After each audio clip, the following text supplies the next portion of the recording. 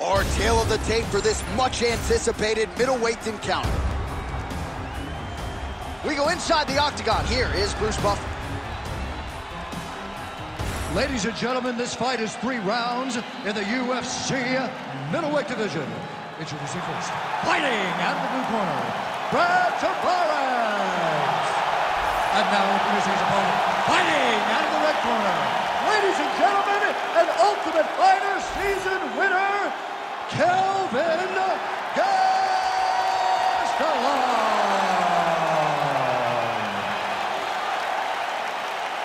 You ready to fight? Ready. Good. All right, early round action here featuring the longtime Extreme Couture staple, Brad Tavares.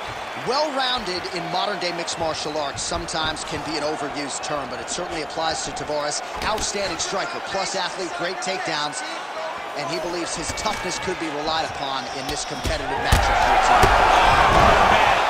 Oh, he dove with the punch and it lands. Punch out. He's brutalized him with the ground and pound. This fight is close to being done. Lands a nice punch from his back. All right, it's a good ground and pound by him here, certainly staying busy, and not just busy, but effective. You can just throw punches to keep the referee off of you.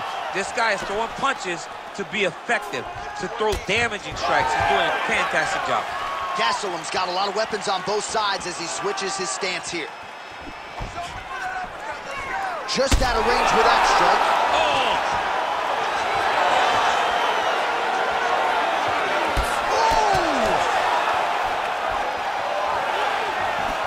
Just over three minutes to go in our first round. All right, well, good news is he rocked him. Bad news is he wasn't able to finish the job, and now his opponent's back in the fight. I mean, you don't get those opportunities very often. You got to take full advantage of them when they're presented to you.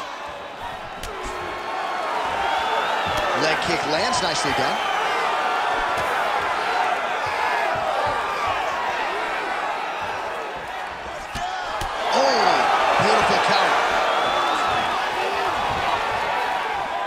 Tavares lands to the bottom. These guys are trying to knock each other out. This is a phenomenal fight. Now he gets a more dominant position with the underhook. He is going to start to drive knees over and over. You got to be careful here. You got to move. All right, he gets the takedown now, DC. We'll see what he can do in this advantageous spot. He set it up beautifully. Let's see if he can now take full advantage of it.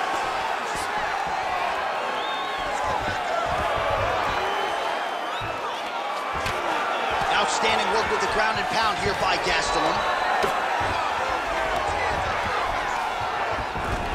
All right, half guard position for him here, and I can hear Dominick Cruz in the back of my head just screaming about underhooks somewhere. Yeah, he somehow. loved, I mean, but he's right, right? He's so right in terms of if you're on your back in the half guard, one thing you can't be is flat on your back. You need to be up on an elbow. Right. You need to be half on the side, and you need to control the far side underhook. It is a battle for underhook when you're fighting in the half guard position on the mat. Oh, nice job working hard, posting, and getting back up. He missed with that jab attempt there. Second round, straight ahead. All right, mercifully, that is it for the round, and Gastelum's bleeding from the forehead here a bit. Hopefully they can get that under control so it doesn't trickle down into his eyes in the next round. All right, let us now take a look back at some of the action from that previous round, DC. He appeared to open up a significant cut on his opponent's forehead with one of those strikes. A lot of blood comes from the cut on the forehead. He did exactly what he needed to do to land a strike that would open up a cut on the forehead. Now that he's got the target, he has got to continue to go there. He's got to continue to land fight. in that spot Ready. to try to get his opponent out of there. Of course, his corner imploring him to be more sound defensively. The cut man appeared to do a pretty good job. Let's see how this next round plays out.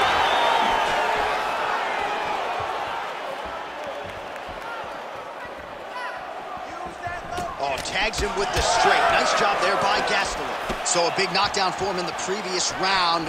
Confidence is high and building here in this next round. Confidence is key, and he has a ton of it right now.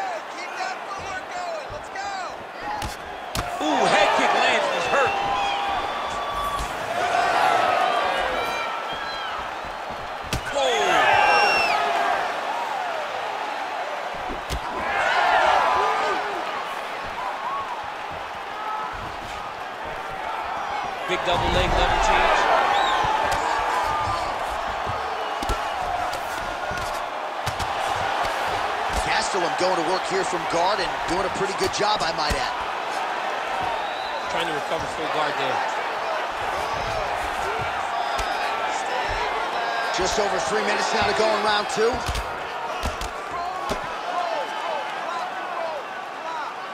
Well, the ground and pound is there once again. Strong work here by Gastelum.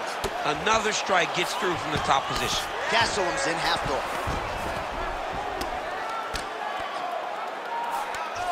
Getting them out here. So we have crossed the midpoint in this one.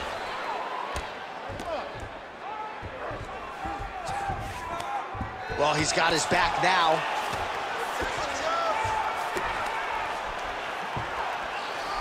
All right, so he continues to land, and not exactly what we thought we would see in this one tonight, but the wrestler willing to stand and trade and proving to be able as well. Yeah, it's out of the ordinary. Usually this guy level changes to take you down very early in fights, but tonight he is showing that he is comfortable in the striking and he is on point with his striking. They've worked very hard to improve his stand-up skills and it's showing right now.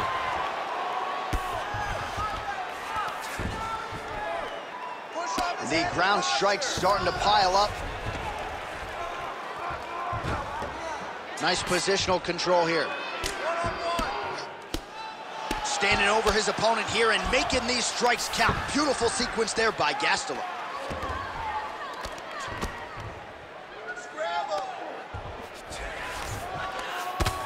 Oh, you gotta love the ground and pound strikes here.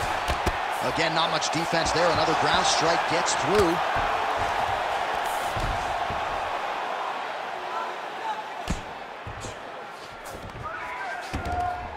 All right, half guard form here, and a lot of offensive options, I would think, at his disposal. Oh, he's got a ton of options. He has submission options, but I believe the safest option for him here is going to be to use his ground and pound. Build a base, posture up, throw big strikes, get back to position, build posture again, throw big strikes, and just really wear him down with a really secure position in half guard. I want you to go out there and finish this fight. He is spent. All right, let's get you some pictures from that previous round, DC. A lot of good work with the ground and pound striking. Yeah, he was able to control posture, get himself postured up, land big ground and pound as he ended the round. What a great finish to a fantastic round.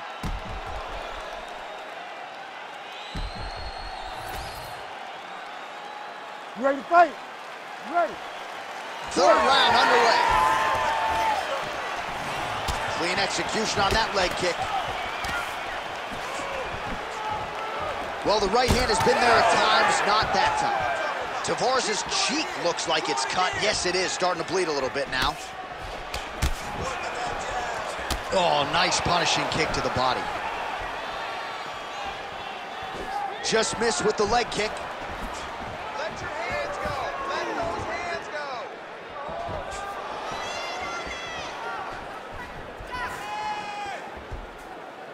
Put your hands up. Good work, guys. Come on.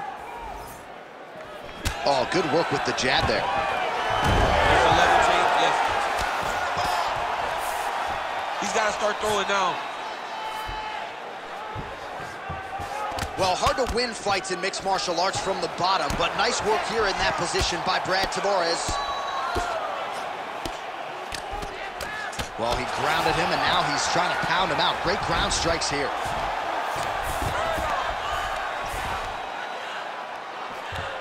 Three minutes to go in round three. Now he's going full mount. Well, that swelling, folks, is not from sodium. That is from a serious ground and pound attack from his opponent. Now he's got good body position. Yup. Time, relax, breathe. Move and relax. Yes, smart adjustment. Yup.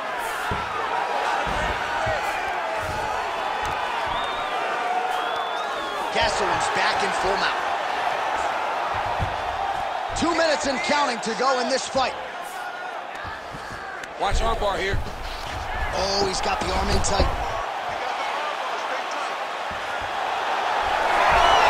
Oh, he Good work. I'm escapes. He got set this up. out. I mean, wow. That is great submission defense. Landing strikes nicely here from top position. Another ground and pound strike lands. How about the speed on that reverse? Wow, so somehow, some way in this final round, back to the feet. It's like he playing the lottery, John. He got to his feet now. Does his numbers hit? He has got to hit every button to try to get a finish.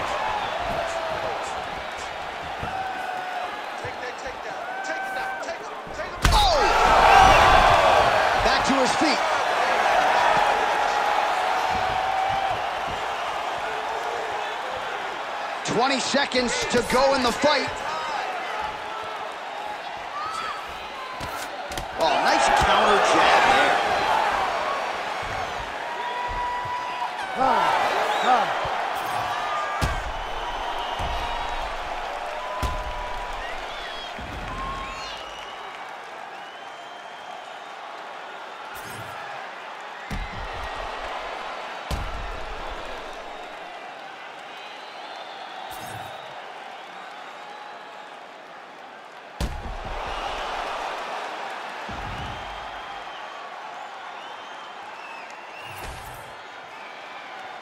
The official decision is in. It resides with Bruce Buff.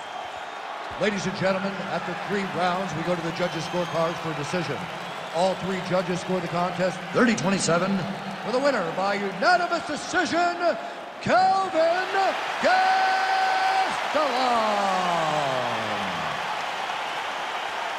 All right, so the UFC wins, continuing to pile up for the oncoming force that is Kelvin Gastelum. Few men can keep up with his pressure, his power, his pace, and tonight with style points, Gastelum.